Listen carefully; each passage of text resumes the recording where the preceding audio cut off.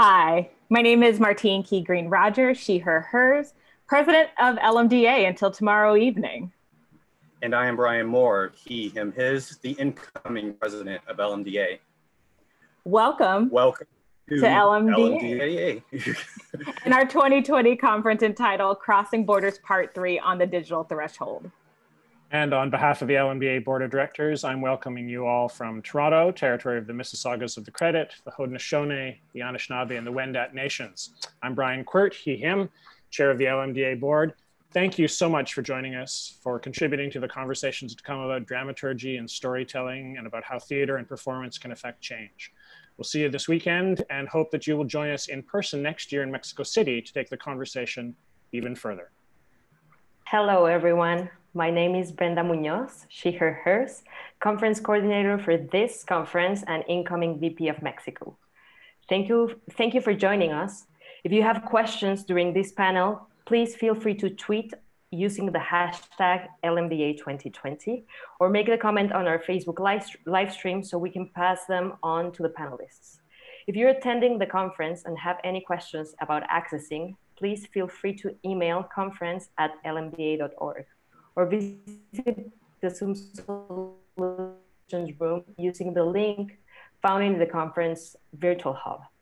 Remember that we have simultaneous oral interpretation available for all synchronous sessions. You can download the Web Switcher Pro app in your phones and then add the token that is available on the virtual hub under simultaneous oral interpretation.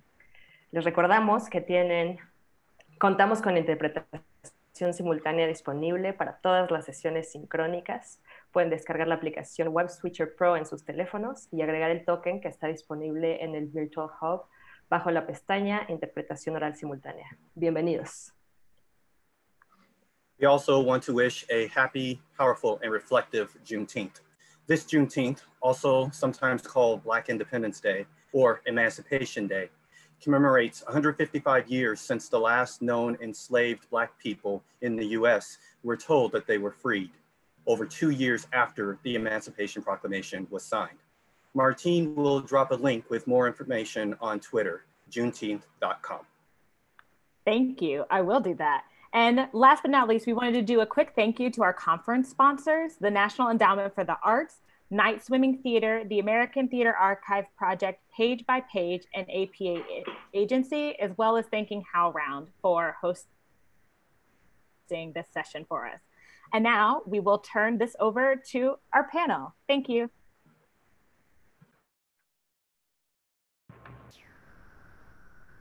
Hi, everyone. I'm Anne Morgan, she, her, hers, and I'm LMDA's VP for Institutional Dramaturgs. Hi, my name is Heather Helinsky. I'm the co-VP of Freelance, and my pronouns are she, her, her. And hi, I'm Finn Lefevre. I use they, them pronouns, and I'm the other co-VP of Freelance. We want to begin our session today with a land acknowledgement, recognizing the First Nations who protect and steward the land we live on. And because we are calling in from many different locations across North and South America and possibly even the globe, many of us are living, working, and profiting off unceded Indigenous territories. I'm currently calling in from the unceded and forcibly occupied lands of the Pocumtuck and Nipmuc Nations, also known as Amherst, Massachusetts. There's a great tool for finding out more about the nations on whose land you live. Go to native slash land.ca. Please take a moment to acknowledge those nations in the comments now, and you can find more about land acknowledgements on the LMDA website. I want to first express my gratitude to the LMDA community for what everyone is doing during this difficult time. In the wake of the global theater shutdown brought upon by COVID-19, LMDA challenged its members to imagine what might emerge from this difficult period in our lives with an essay prompt titled Dramaturging the Phoenix. The call has elicited over 50 wonderfully diverse reflections upon this unique time and its effects and our potential for our art. How this project evolved is since March 12th, when regional theaters closed. LMDA has been holding space every Saturday for freelancers to gather. It was during our third meeting when there was a call to action by those of us who remember the economic recession of 2008 and 2009 and the pain that happened in our community then when there was a scarcity of jobs. Freelancers who remember those days voiced concerns that we will again lose dramaturgs from historically marginalized communities if we don't do something this time around.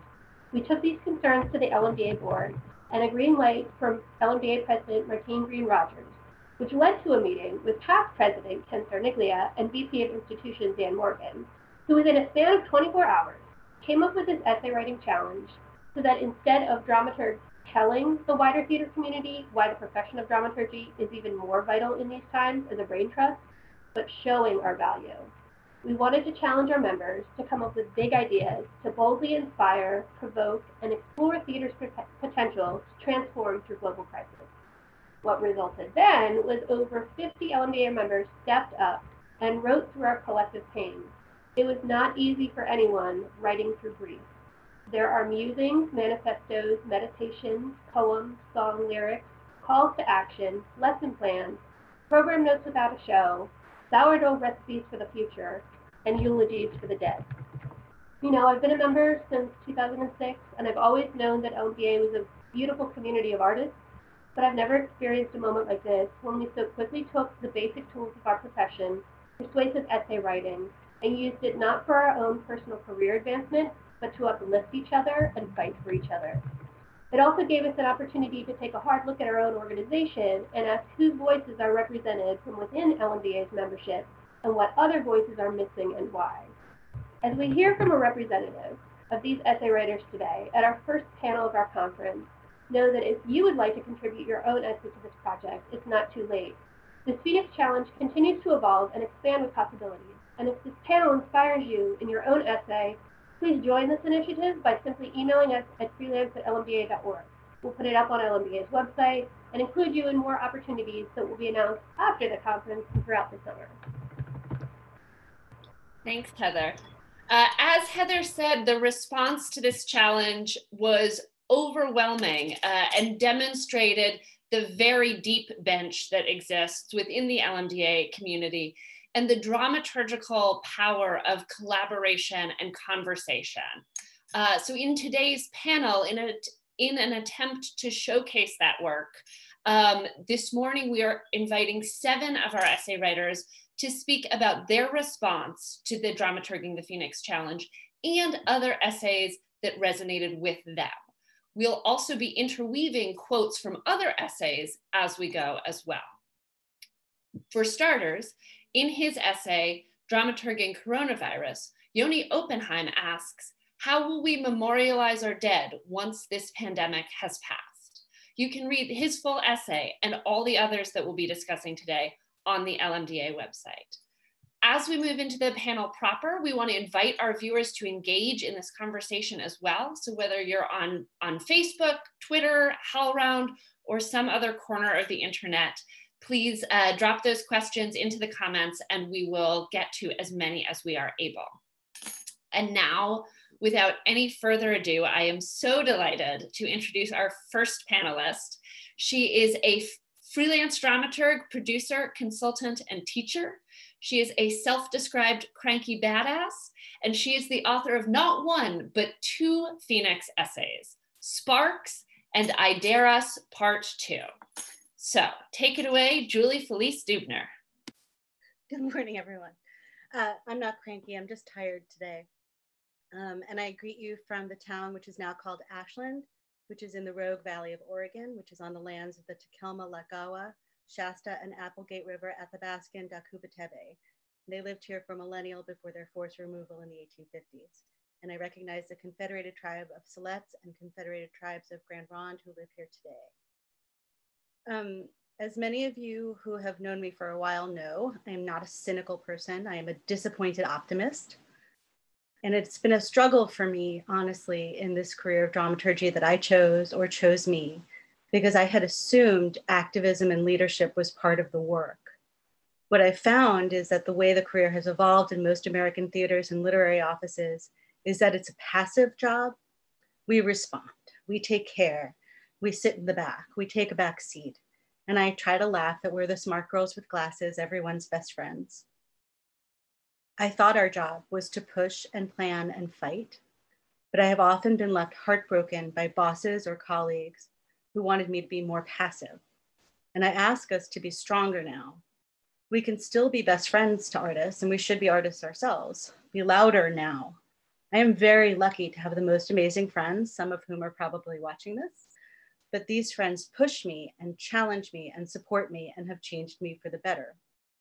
We're going to emerge into a devastated world, and there won't be or shouldn't be any place for passivity in theater, in politics, in the fight for social justice in our homes. This now, which I call the without time, has exploded from a time of forced isolation to an amazing uprising. And as the surviving institutions reopen, as new models are built and experimented with, as some leaders and boards try to go backwards, we have to push them and see, seize leadership ourselves to evolve instead of return, to demand good choices instead of safe choices, to encourage these places to serve artists and staff and audiences and communities instead of a building or a brand.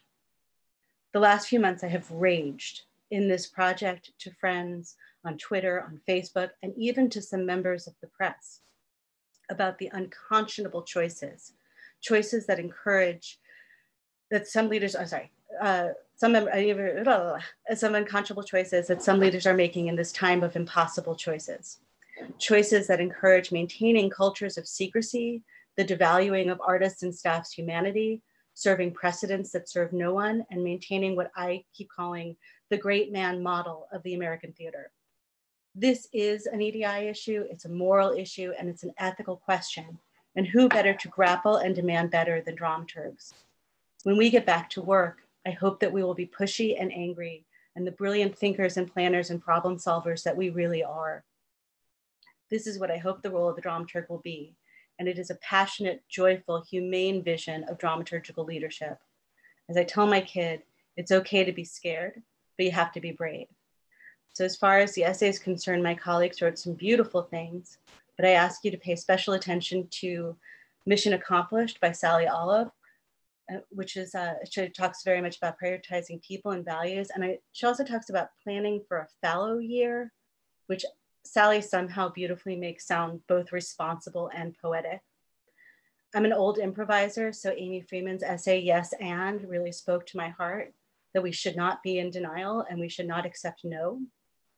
And uh, Emma Goldman Sherman wrote an essay called A Rave for Dramaturgs, which um, talks about creating opportunity for yourself, but also within a framework of professionalism, which includes getting paid.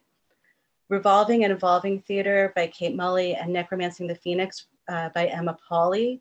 These are fun, smart, sassy essays, which I loved.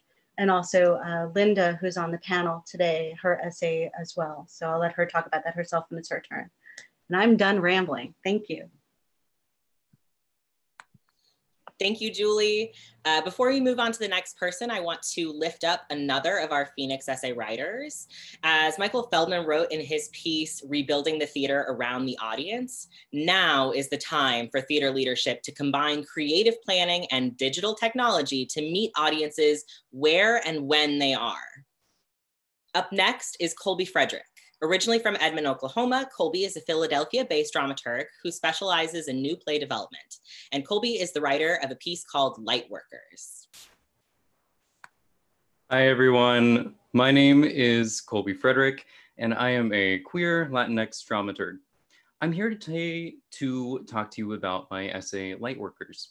The term lightworkers actually comes from a musical theater performer based in New York named Sierra Bagas.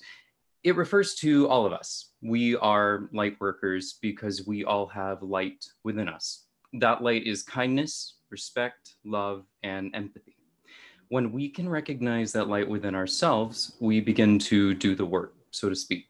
We can see our light by accepting what we feel, being mindfully aware, and then being present in any given moment. It's hard, but it works. the thought is that when we begin to encourage our own light, we can recognize the light within other people. When that happens, there can be a mutual exchange where we can encourage one another and love one another. The hope is that by doing this work, we can be present and live ultimately fulfilling lives. This study of presence and being a light worker is something I've studied for the last few years, especially in my journey with mental health. But I have found that it not only applies to my personal life, but also to my professional life as a dramaturg. My approach to dramaturgy recently has been working one-on-one -on -one with playwrights.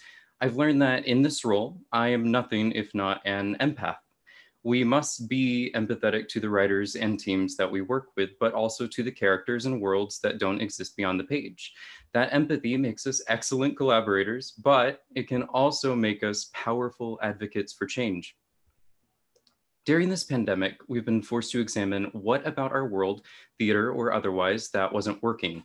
With no theater happening, we reflect on what was. And while there are many worthy and beautiful memories, I think it's important to take this time of absolute pause and focus in on how we can make theater more equitable. My essay is written from the future perspective, looking back on the lessons we learned during the pandemic and the changes we enacted. One aspect of equity I discuss are the physical barriers that prevent people from attending the theater, namely financial and physical accessibility barriers. My essay idealizes that we collectively decide not to let these barriers be as prevalent by continuing to produce theater for digital mediums. I know that this is much easier said than done, but I believe we can make theater more inclusive than it's ever been in this regard and others. On the note of inclusivity, racial discrimination in the theater is now at the forefront of our attention and it absolutely should be. I get it, it's uncomfortable to talk about, but that's good. It should be uncomfortable because a lot of white people are now listening to accounts about how systemic racism absolutely affects who gets to produce, be on a creative team, write, and perform. With our voices as dramaturgs and our ability to empathize we can encourage our peers to be the allies that theater folks of color deserve by continuing to talk about race, racism, and how we can combat it as theater artists. Our relationships with playwrights can be our first step in fostering this kind of needed dialogue. Whether this means encouraging white writers to think critically about their voice to include or exclude characters of color, or by specifically encouraging and honing the voices of writers of color, we can help create a canon that is equitable and inclusive of voices that are historically underrepresented.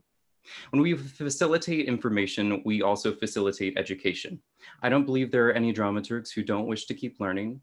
We will keep learning and we will rise from the ashes of what was into a new era of theater. So thank you for your time.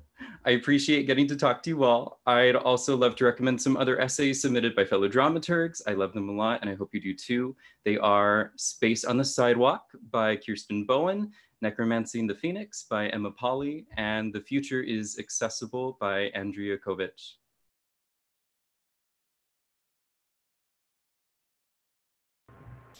Thank you, Colby. I'll also add another Phoenix Writers voice, Brad Rothbart, in their essay, Return to the Root, Sell the Buildings, Keep the People. I'm personally heartened when fellow dramaturgs collaborate and combine their dramaturgical powers as a team. So when I first opened up Jean Marie Higgins and Jennifer Ewing Pierce's email to discover that they had been working through the entire month of April together on this essay, I was very moved. Jean Marie and Jennifer are friends who have talked through their ideas in this essay over several weeks using Zoom, text, Marco Polo, and email. Jen is a visiting assistant professor at the University of North Carolina at Charlotte. Her chapter on situated cognition in theater pedagogy appears in Teaching Critical Performance Theory in today's theater classroom, studio, and communities. Jean Marie is an associate professor at the School of Theater at the Pennsylvania State University. A new works dramaturg, she publishes widely on the intersection of critical theater and pedagogy. Their response to the Phoenix Challenge is titled Teaching Dramaturgy for the Post-COVID-19 World. Um, hi, and I'd like to ask if um, Jen to also, there we go, okay, because we're a team. Um, so we decided to, um, well, we didn't actually decide to write this up as an essay until April 30th. That's a secret. Now it's out. Everybody knows. But we've been talking about these issues um, all through the month of April. And let's all be honest, um, mainly through Marco Polo. So there you go. Um, but we're really pleased with the result, which was a collaboration, I think, that draws on both of our strengths um, and, and our, our um, you know, our passion for, uh, for teaching. So uh, I'm going to read a bit from um, our essay and then Jen will, will talk a bit. We are going to talk about some other essays that we find really um, beautiful. Um, and we're just gonna start. So what will dramaturgs do when there are no theater productions? The thought is sobering for those of us who have struggled for visibility as collaborative theater artists. On the other hand, with no traditional productions, no lobby displays to design and install, no program notes to write, no post-show talks to host, the pandemic has liberated dramaturgy from the task-driven modes it has adopted in regional theaters and universities in the United States. With the disappearance of many dramaturgy tasks, how can dramaturgs lead us confidently into the post-pandemic theater landscape?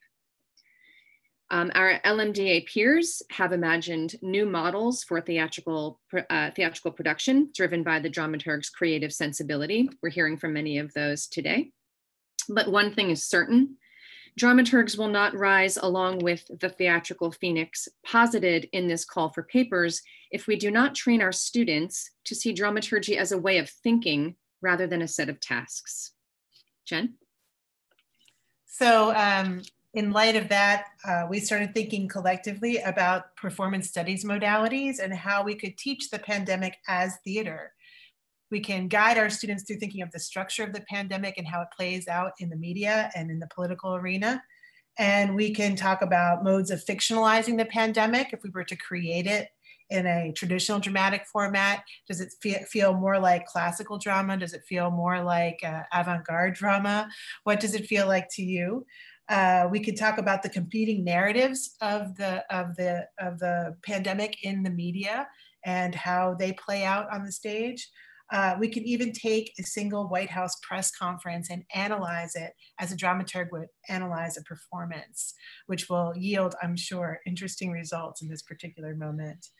Um, we also, uh, Jean Marie and I talked a lot about the emerging collaboration with Diane Paulus uh, from ART and the Chan School of Public Health, because public health, it occurred to both of us that our, um, and public health and theater are natural allies. Uh, so uh, the, the uh, reflections on form that Diane Paulus has produced from this collaboration are excellent. We'd like to point you all towards those um, ideas about form for the coming year. Um, and also to think about the fact that theater is constitutive of public health we are dealing with theater as public health as in a crisis, um, but it always has been constitutive of public health. So uh, that's something really exciting that has emerged that we'd like to discuss with and explore with our students. And as far as how this might translate into um, a syllabus, um, and of course, this is always an evolving question. Um, we came up with uh, some, some takeaways that people who are teaching dramaturgy in the fall, um, uh, just to add to what Jen is saying, um, we also thought that there could be a module in a course that um, is the dramaturgy of virtual space, where we uh, really um, we really interrogate what the divisions are between the virtual and the real, both in you know performance studies discourses um, and uh, and and certainly the way that new media studies has contributed to that conversation. Um, we what is the difference between the live and the filmed, the filmed and the streamed, and um, have these divisions held up during the pandemic or have they weakened? Um, so interrogating the ways that we are doing uh, theater now that we're not doing theater as it were. Do virtual and streaming formats produce more or less intimate spaces than live venues? Um, and what critical language should we employ for streamed performances like Zoom plays, et cetera? Um, is it fair or apt to use the same critical language to talk about the kinds of performances that are happening now um, over Zoom? Um, and in the classroom, we, we, uh, we thought through some, uh, just some, some takeaways, some points. These are by no means the most important points, but these are, these are some things that we feel strongly about. Um, emphasize thought over tasks build more theory into your syllabus. Ask students to read work about what theater is and what theater does. That is, after all, the dramaturg's role to question the why and how of things. Uh, to Aristotle and Lessing, add theorists of time and space, Guy Debord and Yi-Fu Tuan. Study plays as theory, study difficult playwrights. To Brecht and Soyinka add Erik Ehn and Sarah Kane, writers who confuse structures of storytelling to spiritual and boundary breaking effect. Um, throughout the university, bring performance to non-performance arenas. Encourage your students to participate in their undergraduate research symposia this year, but not in a performance category. Um, they can share what they've discovered about how storytelling informs all practices, not just theater. And we want to um, tell you about some other uh, essays in the Dramaturging the Phoenix uh, group that we thought were terrific. Um, and I'm going to start by telling you a little bit about Kate Mulley's essay, Revolving and Evolving Theater, with a little help from the Beatles. And I chose Kate's essay to talk about because it is so smart and so joyous. Um, and uh, it's it's written in such a beautiful way that I, I feel like a lot of it would sound great out loud. So here we go. Um, she says, the album Revolver, the Beatles album, was recorded in the spring of 1966 after three months of unprecedented rest for the Beatles. No touring, no filming, no recording, just time. It marked the first time the Beatles were not working and not in the same place since 1962. The four Beatles used this time differently, and she goes on to tell you about John, Paul, George, and Ringo and how they each spent that time um, and she she draws a connection. She she she did like really deep research about what exactly the Beatles were doing in that time, and she came up with some amazing uh, facts. Um, for example, Paul uh, listened to radio plays by Alfred Jarry. Um, he met Bertrand Russell. Uh, he was so excited and nervous that he knocked over a lamp when he met Bertrand Russell. Um, and, and John continued to experiment with LSD and read a lot of books. This is not surprising to us. Um, George married Pattie Boyd um, and deepened his practice with Indian music. So, and on and on. So it's a great history of the Beatles that for that time period.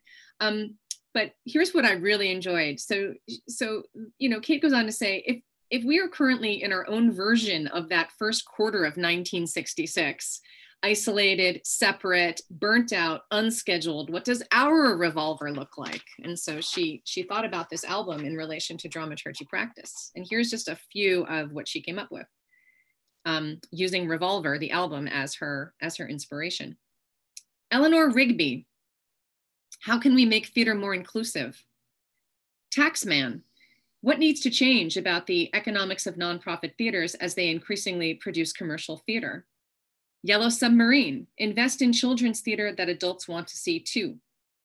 She said, she said, always question the status quo. And Your Bird Can Sing, how can critical writing about theater serve artists better? And Tomorrow Never Knows, endings allow for new beginnings. Um, and the few people I would like to draw your attention to are, uh, I think during this economic implosion, of an inequitable and therefore inherently fragile, that therefore is very important. Our inequity has made us more fragile. Um, has led a lot of us to be thinking about what the new theater looks like and greater accessibility. So I'm just going to quickly uh, point you to Rebecca Curran, who talks about online modes, uh, online modes bringing greater accessibility to more people.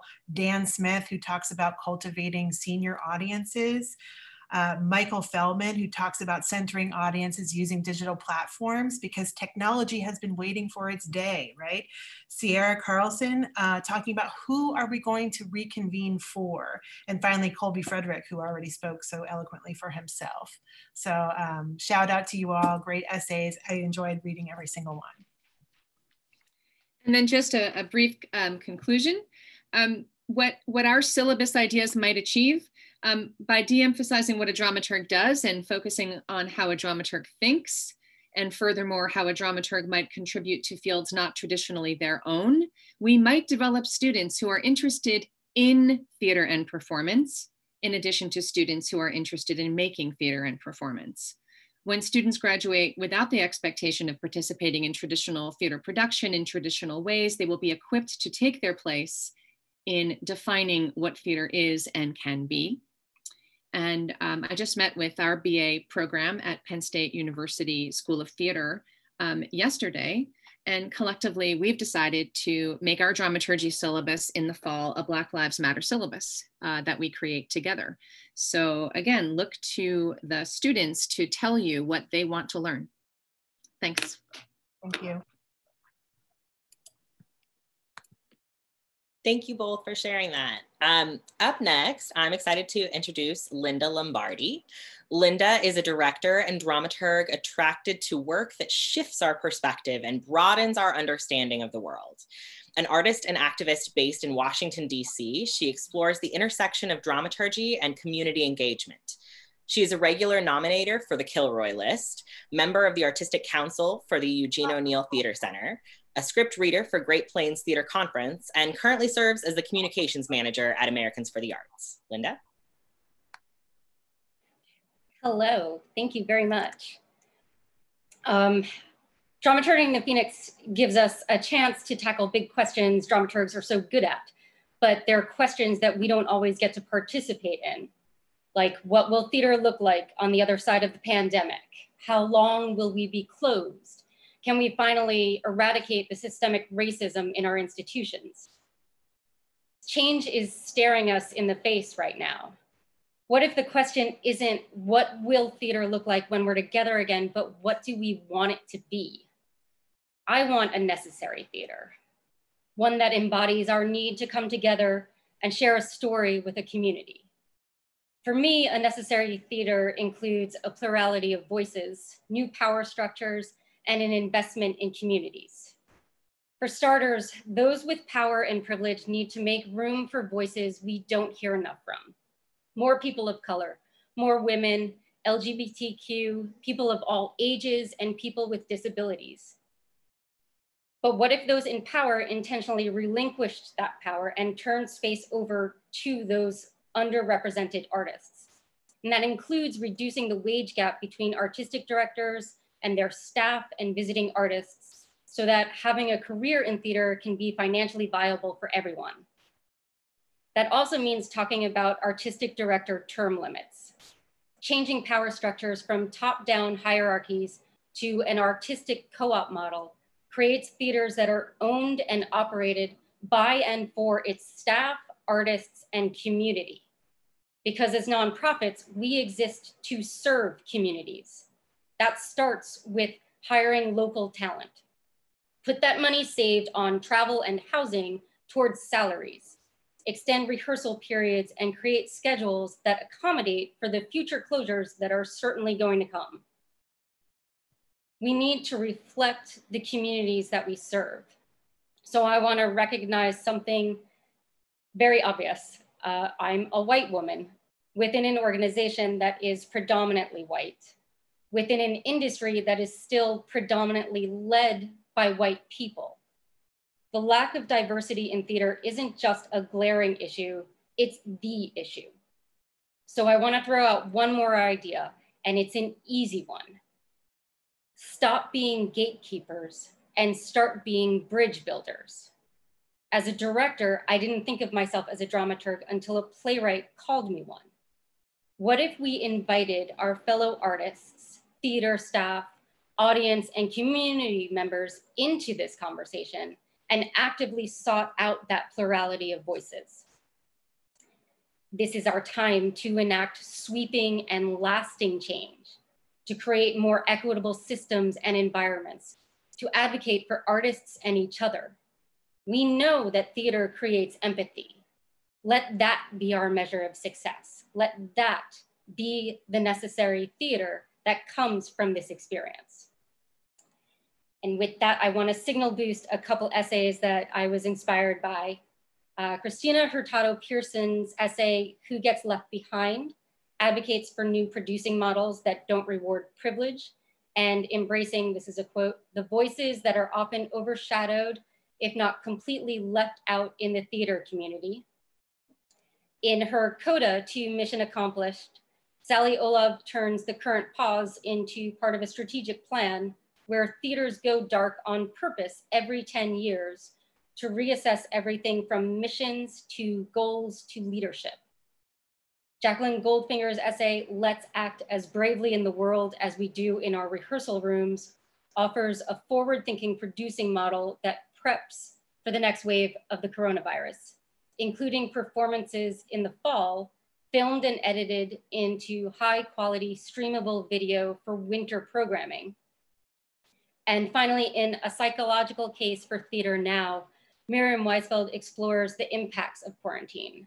Studies reveal signs of post-traumatic stress, confusion, and anger.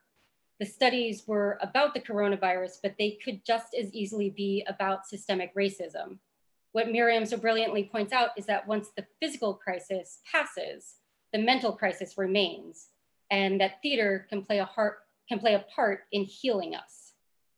Um, and with that, I just want to say thank you very much again for the opportunity, and I look forward to many more conversations like this. Thank you so much for that, Linda.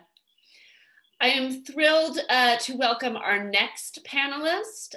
Karen Jean Martinson is an assistant professor of dramaturgy at Arizona State University, where she is beginning to embed dramaturgy into coursework and theatrical practice. She is excited to be joining the LMDA Executive Committee as our incoming VP of Advocacy.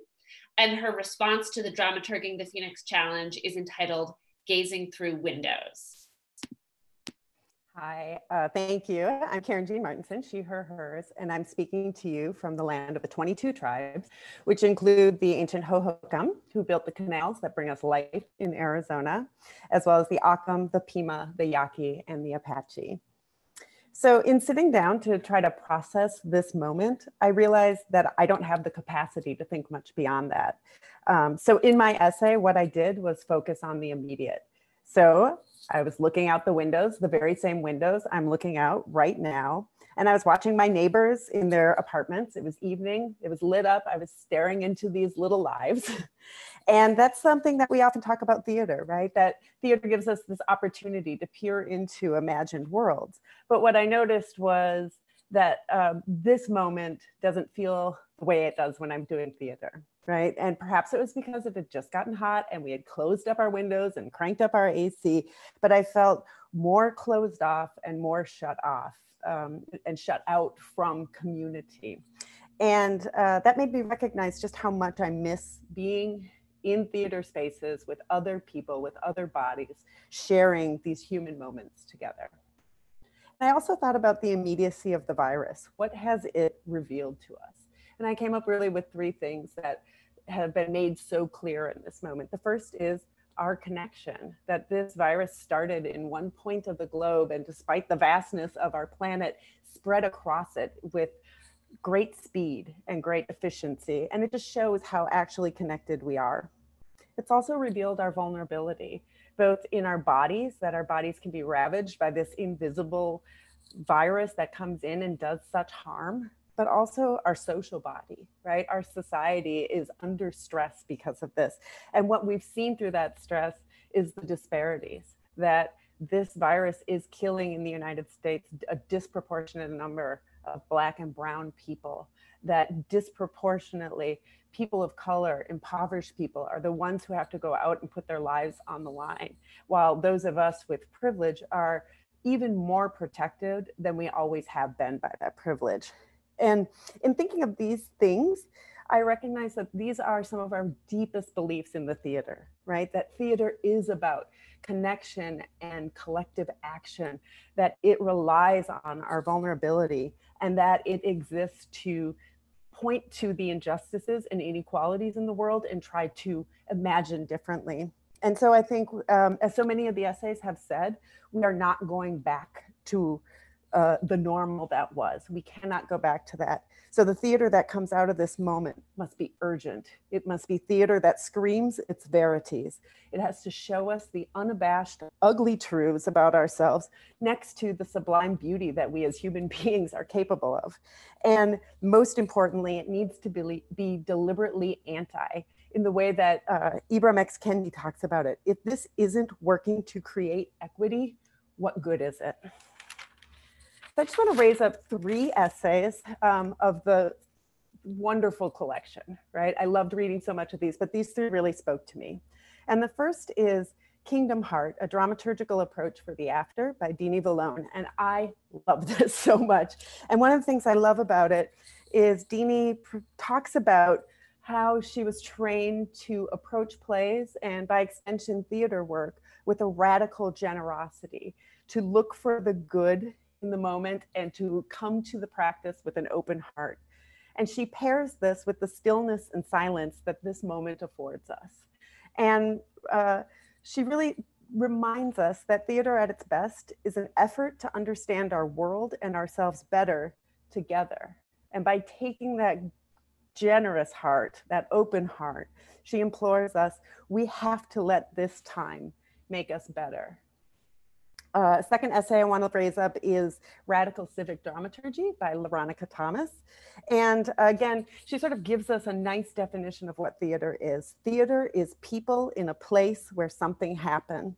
And she gives us exa uh, exciting examples of how that's manifesting right now.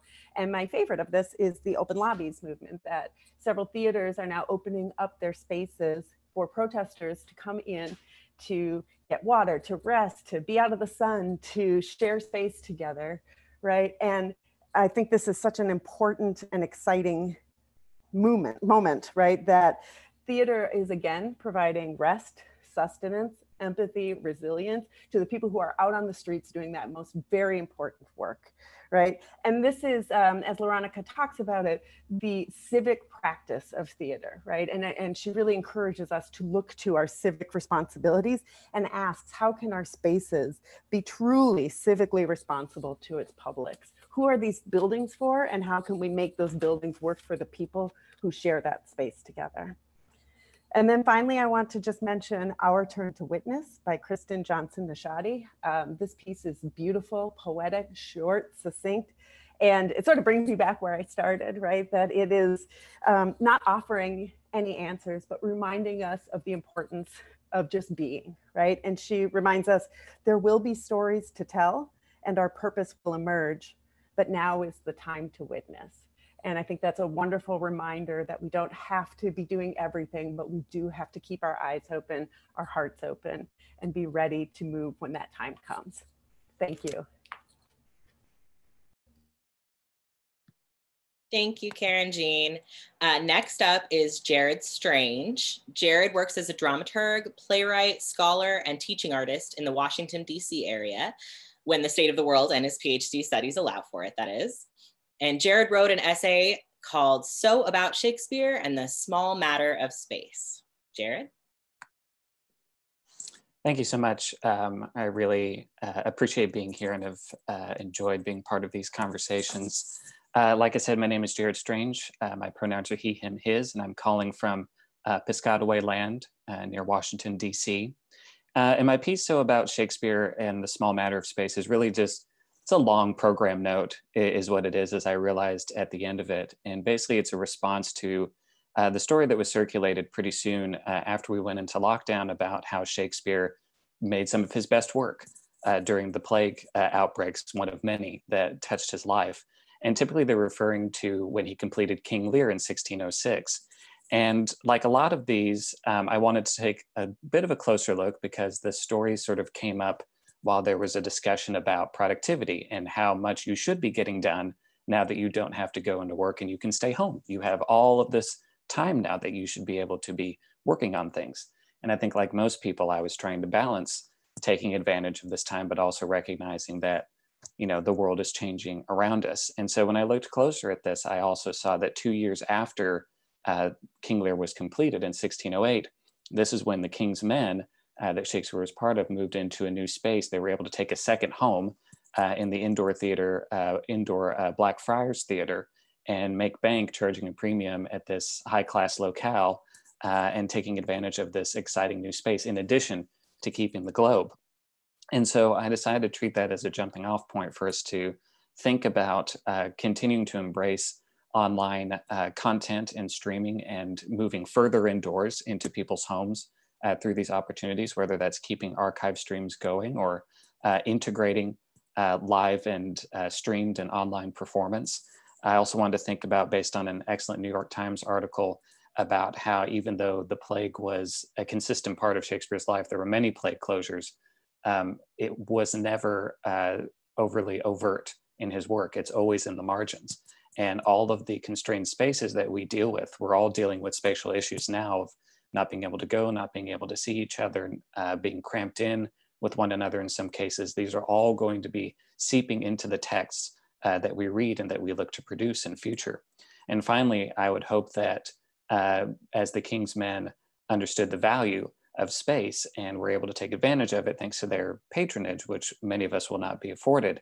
We should also really be thinking about our spaces when we go, if we get to go back into our theaters and uh, how we can think about space, not just in terms of what our brick and mortar is, what our remodels are, uh, what nice curtains and carpets we have, but who is sharing these spaces and how are we connecting them to the broader places around us.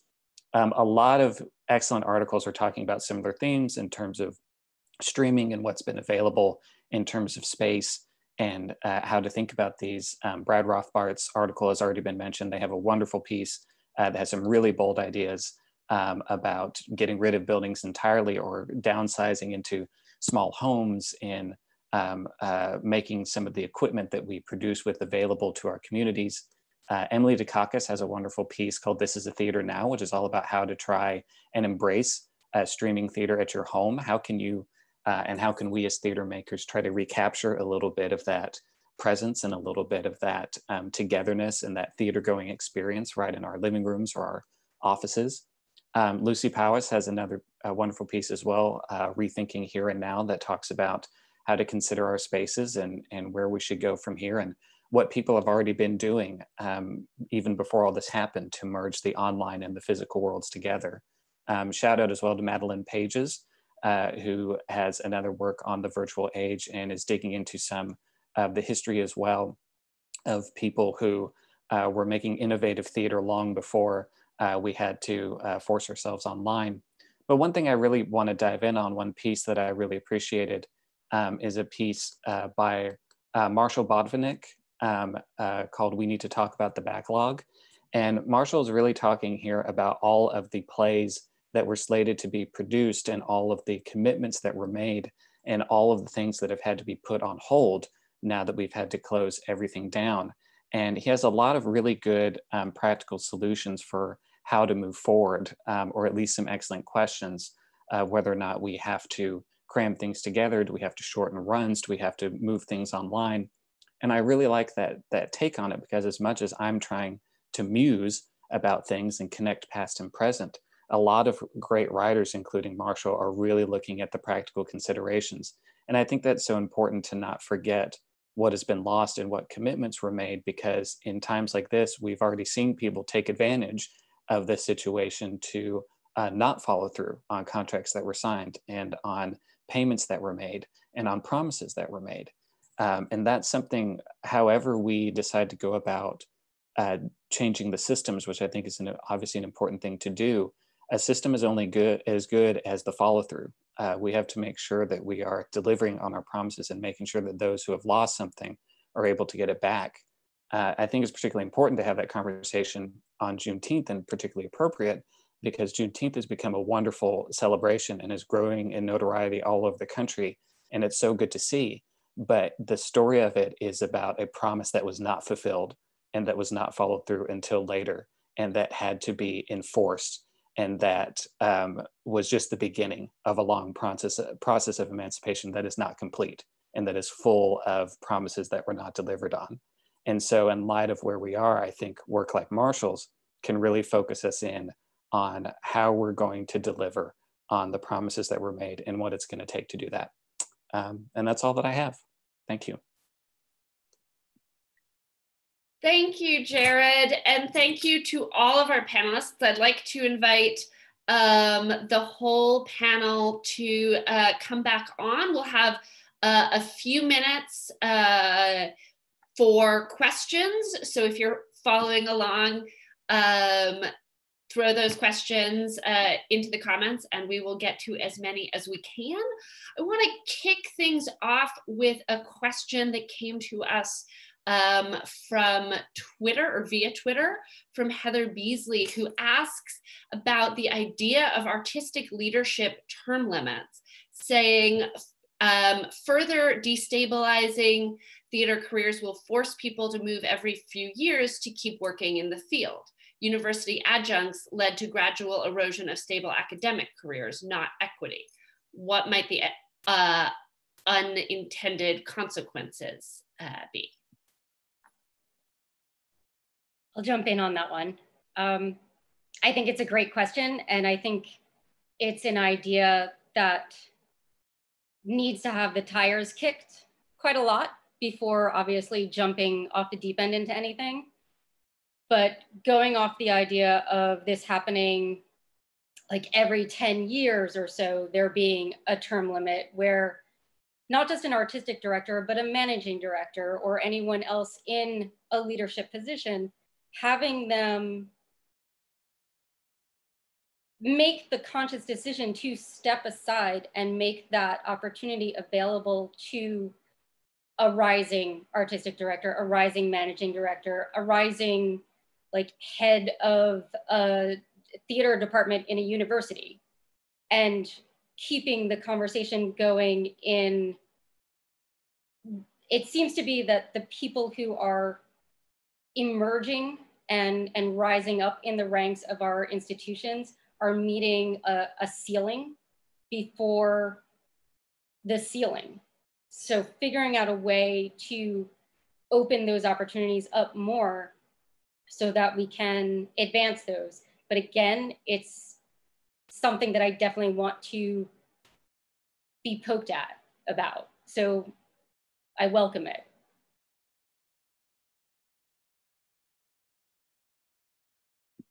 Does anybody else want to chime in? I'm seeing Heather, you you want to chime in, and then Jean Marie. Yeah, I'll I'll throw down and say something controversial. Um, Ten years ago, I was let go from a stable institutional position, and you have to understand, many of us uh, as freelancers have constantly we're working from job to job. So artistic leaders join the club. Um, I will say that. Um, yes, it does destabilize your life a bit. I certainly have my life in boxes but I also think some beautiful opportunities have grown out of these changes in me. And I know I've personally grown from moving around. So embrace the change.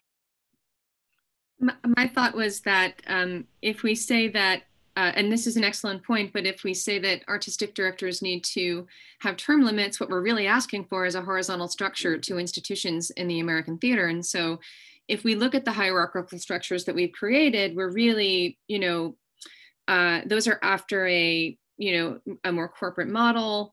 Um, we have adapted to uh, to those models. I don't think that's uh, the only model. And i think that if we if there were more ensemble based um, structures in in the american theater i'm thinking of you know um, companies who rotate jobs among um, each other that if that if, that were a viable model and i think it is then then i think that what linda's talking about is is is eminently possible.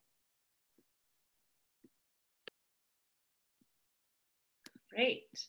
Um, somebody had a question about uh, the open your lobby initiative um, which, uh, yes, I believe they have a website and uh, we'll hope to get that to you in the comments. Um, and now we have a question from Jane Barnette who asks, this is a big one, uh, how will we deliver on promises that were made before the virus?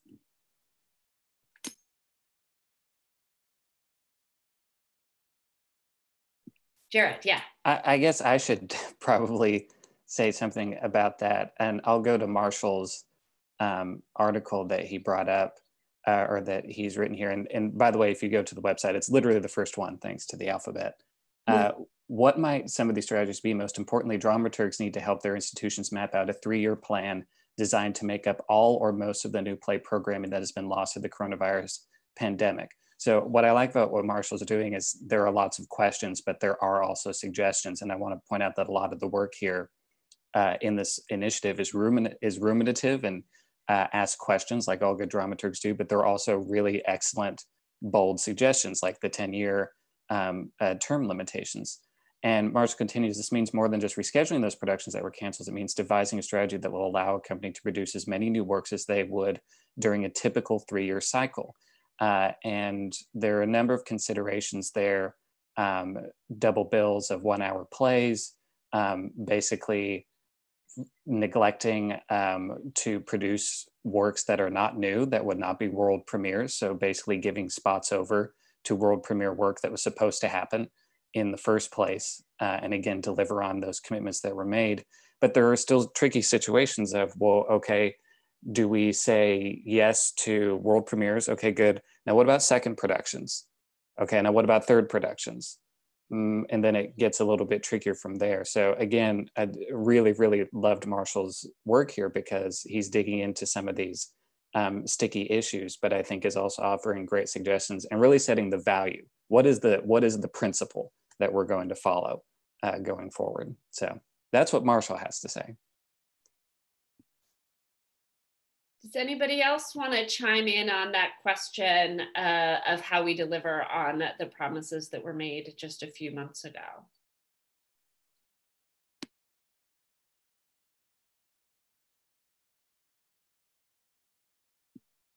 Um, okay. Um, there was a request uh, to include hashtags in the Dramaturging the Phoenix essays. Um, that see, I will we will look into the logistics of that on the technical side. Um, and there is, I think we have time for one more question, and I'm watching it being typed right now. Um, so, um, I'm gonna, how can LMDA further the Dramaturging the Phoenix initiative? So, and I think that's a great question to wrap us up, that this was a project that began in the middle of March. Most of these essays, in their first draft at least, were written during the month of April. Now we find ourselves in mid June. Um, reflecting on your own essays and the essays you've read, what are uh, what would you like to see from LMDA as this initiative moves forward?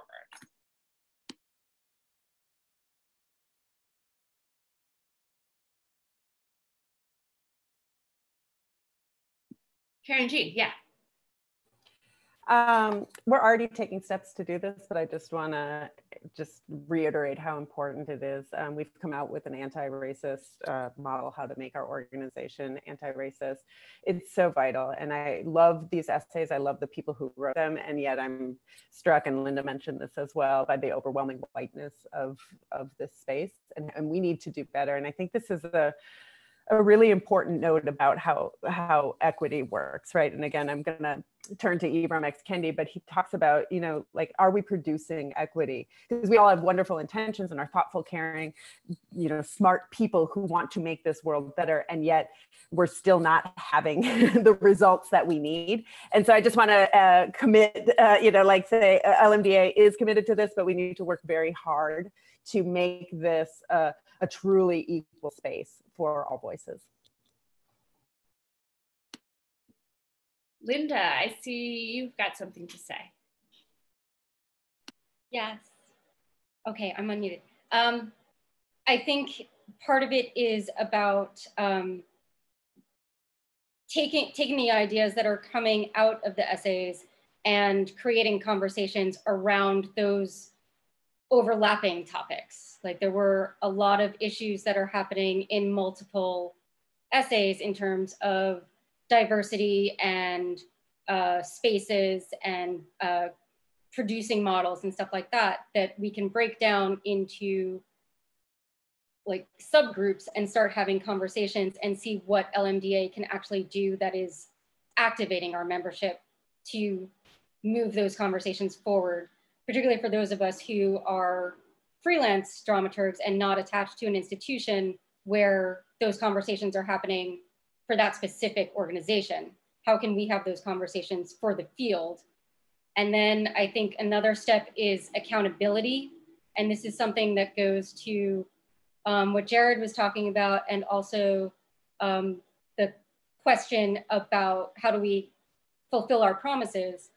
But any of these sweeping changes that we make, nothing's going to really stick if we don't hold each other and hold ourselves accountable. So there needs to be some sort of like quarterly or couple times a year like town hall meeting where we reevaluate and reassess what we've done and what we still need to do so that we're always working. I love that, always working. Um, I want to throw in one uh, comment from Lucy Powis, who uh, wrote an essay of her own as well that I encourage you all to check out. Um, but she suggests that term limit, this idea of term limits, would dovetail well with encouraging more people to work locally, which is something that has come up in a number of essays. And what if, instead of an uprooting of lives, we encouraged a rotation of local leaders who were invested in their community. Um, unfortunately, we are at the end of our time. I'm gonna uh, pass the baton to Heather to wrap things up, um, but I just wanna thank everybody as well for joining us. Heather. Yes, thank you everyone for joining us. Uh, I'll add one more Phoenix writer sentiment before I, I, actually pass that off to Martine, is what Christine Sarfito said in her essay we obviously do not know how this pandemic will end. It's impossible to predict the ways it will change society, though we know that it will irrevocably. But if we look back to the most devastating pandemic in history, we can see that the massive structural problems it exposed eventually led to the creation of a more egalitarian society, one that came to truly value and patronize the arts. Uh, we also want to encourage you, if you haven't done so yet, to read all of the incredible essays on the LMDA website uh, you can also uplift them in um, our nominating process. Uh, we also, if you have been inspired to write an essay for the Phoenix Challenge based on what you have heard and read, please feel free to send one to freelance at lmda.org. Opportunities resulting from the essays is just ongoing. And thank you also for all the people who have provided some opportunities. And please enjoy the rest of the conference. Thank you all for joining us at the Conference Hub. Thank you, everyone who participated in this panel. Thank you, Heather. Thank you, Anne. Um, and everyone who's also on HowlRound and Facebook. If you thought this panel was interesting and want to hear more about what is happening in the land of dramaturgy, feel free to register for the conference at lmda.org or come back a little later today for the next session that we'll stream on HowlRound. We did hear some feedback during the panel, and it seems if watching the HowlRound sessions on Chrome works a little bit better. So we'll recommend that going forward for our next HowlRound session at 3.30. But for now, we're gonna take a short break and we will return to the conference at 12.10 Eastern, 9.10 uh, Pacific. We will hear about the Mexico-US uh, exchange at the Lark, and that is sponsored by the American Theater Archive Project. Thank you, everyone.